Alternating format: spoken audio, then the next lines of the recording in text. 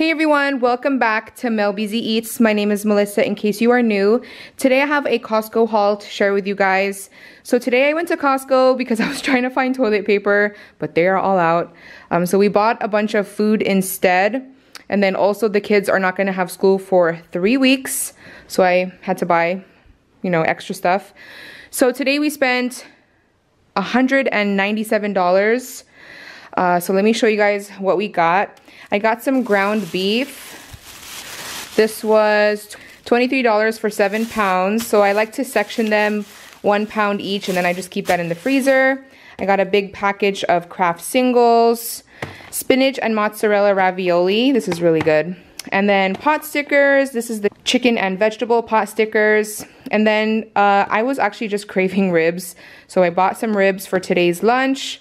Got some beef hot dogs goldfish for the kids snacks and then I picked up some coffee.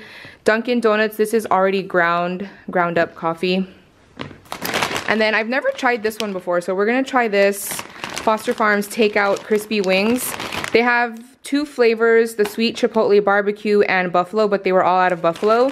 So I just got this they were out of a lot of stuff at Costco you guys like the frozen sections like almost empty the canned foods it's it's insane I got one package of Vienna sausage and then we got two packages of Spam.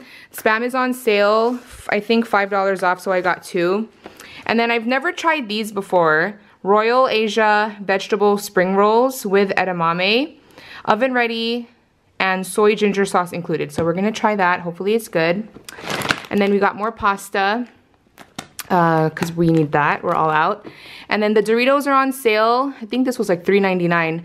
And then we just wanted this, the Sun Chips Zesty Queso flavor.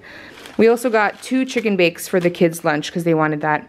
So that's it. That's everything that we got today. I hope you guys enjoyed today's haul. If you did, please give it a thumbs up. Don't forget to subscribe. I love you guys, and I'll talk to you guys in my next one. Bye, everyone.